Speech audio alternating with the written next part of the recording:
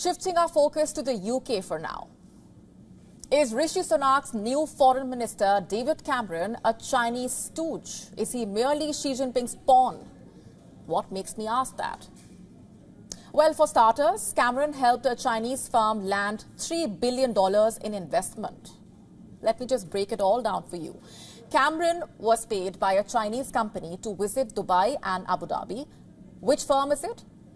China Communications Construction Company. It was launched by President Xi Jinping. It is funded by the state.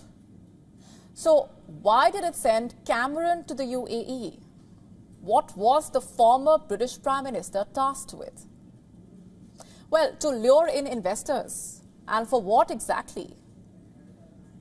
For Port City Colombo, a part of China's Belt and Road project in Sri Lanka. David Cameron got involved with the project in January when he visited Sri Lanka. There he met the project's director, Yang Liu. Cameron was seen shaking hands with Liu and posing for photographs. In fact, Cameron also accepted a gift from Liu. And a few months on, Cameron was paid to fly to the UAE. How much exactly? Reports say some $210,000. And as for the project, China had already invested $1.4 billion. It was now on David Cameron's shoulders to bring in more dollars. And Cameron did not disappoint Beijing. He spoke back to back at the Ritz Carlton in Abu Dhabi and the Burj Khalifa in Dubai, he implored delegates from West Asian sovereign wealth funds to pour money into the port. According to a leaked footage, which we could not independently verify, Cameron said he was struck by the immense opportunity of the project. Not just that, he has also endorsed and promoted the project on social media, calling it a sea of opportunity that will help in building bridges and bringing greater prosperity for all. And what was the result of Cameron's lobbying? As I told you, West Asian investors pledged $3 billion, a whopping $3 billion just off the back of Cameron's visit. That's what the reports say. None of this has been publicly announced. The funding remains subject to legal agreements. Now, there is nothing new about Cameron's enthusiasm as far as China is concerned. When he was the British Prime Minister, he touted a golden era of relations with China. From sharing a pint with the Chinese President Xi Jinping to trying to set up a UK China investment fund, Cameron has shown disproportionate interest in China. And the love in seems to be mutual, by the way.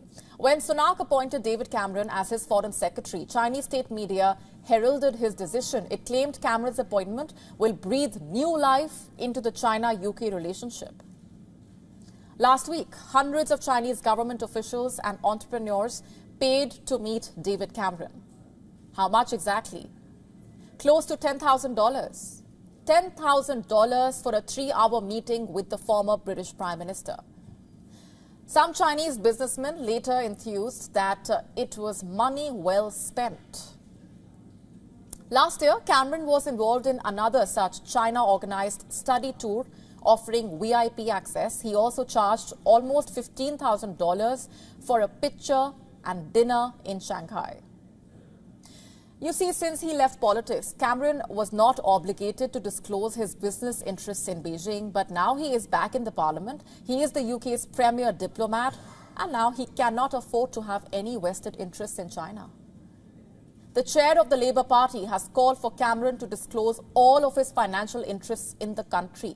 The new foreign secretary is under the microscope already. Criticism has started mounting with regard to Cameron's support for the Chinese port in Colombo. Lawmakers fear he is pushing for development that could become a Chinese military outpost in the Indo-Pacific. And speaking of criticism, it's not just Cameron who is facing flak, it's also the Prime Minister of the UK, Rishi Sunak. He is now facing even more challenges from the heavyweight candidates in his party. Sunak is trying hard to send immigrants back to Rwanda. But his plans were spoiled as the Supreme Court ruled his policy unlawful. It also said there had not been a proper assessment of whether Rwanda was safe. And the Prime Minister then promised to introduce emergency legislation confirming that Rwanda is a safe country. And for that, Sunak is now considering to block a key human rights law. But the thing is, he does not have some of his own party members' blessings, and this includes the newly appointed Home Secretary, James Cleverly, Justice Secretary, Alex Chalk, and the Attorney General, Victoria Prentis. They are opposing Sunak's decision to move away from the European Conventions on Human Rights. You see, there is a split within the Tories at the highest level. Sunak is trying to appease the right-wing members after sacking Suella Braverman. He is trying to become even more radical than her, but it does not seem to be working out for him clearly. The British Prime Minister seems to be flailing around. How will he keep the favour of his party? WION now available in your country. Download the app now. Get all the updates on the move.